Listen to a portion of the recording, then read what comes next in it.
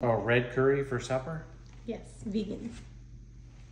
We'll What? just try it and see if you like it. I don't want to try. it. We're not vegan. We're not even vegetarians. You're just going like off the off the ship.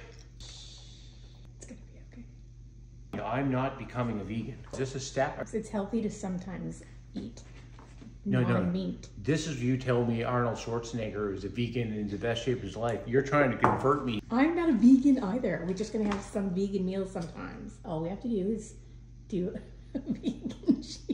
Are you talking about the bean tortillas and everything? What's so funny? You're panicking No, so I- bad.